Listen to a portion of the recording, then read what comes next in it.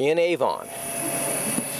What's off the wall is on the menu. It's actually the first self-serve tap room in Connecticut. Happy hour is more homegrown here. This is a great idea. And as long as you're of age, you can be a card carrying member.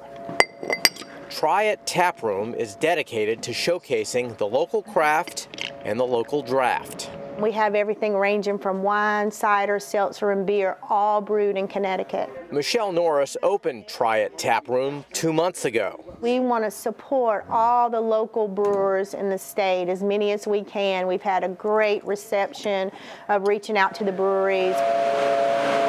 And if you see something on our wall, that um, that you like from one of the smaller breweries, you know, you're likely to run up the road and go see what they have, and so it's it's a win-win for both of us.